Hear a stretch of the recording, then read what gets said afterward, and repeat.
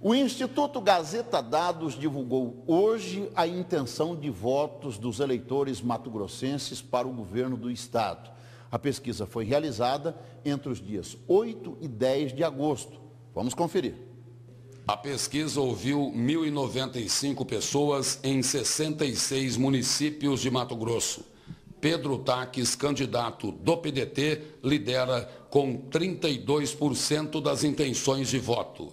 O candidato do PT, Lúdio Cabral, e o candidato do PSD, José Riva, estão empatados com 14%.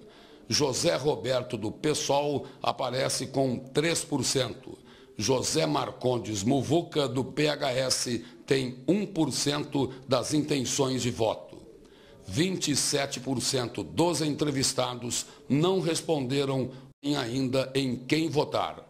9% disseram que se as eleições fossem hoje, votariam em branco, anulariam o voto ou não votariam em nenhum dos candidatos.